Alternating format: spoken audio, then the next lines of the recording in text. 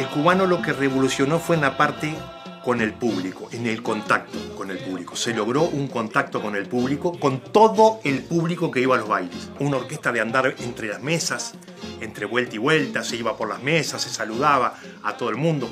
Si teníamos que sacarnos 250 fotos, nos sacábamos. Nunca una cara mal o, un no a un pedido. Nos pedían este, discos, rifábamos, regalábamos. Y el sonido arriba del escenario se se, digamos, se diferenciaba de otros por la fuerza. Nosotros lo que siempre nos decíamos entre nosotros mismos, vamos arriba, más fuerza, más fuerza. Y eso a la gente la contagiaba.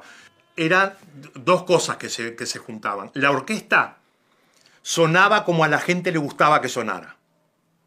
¿Está? Con arreglos definidos, ya se sabía cómo empezaba, cómo terminaba el tema, la famosa tumbada primaria de Magú, que eso, tampoco, eso también es una innovación.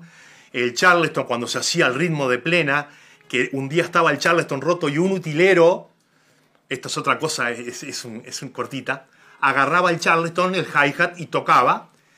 Y como no tenía pie, porque se había roto el, el Charleston, no tenía el pie arreglado, él lo levantaba con la mano y hacía un efecto y de repente, bah, dice, estoy haciendo una cosa, y yo le dije, pero eso que estás haciendo está fabuloso. Y de ahí se integró el famoso golpe de hi-hat y de ahí siguió, o sea, creado por un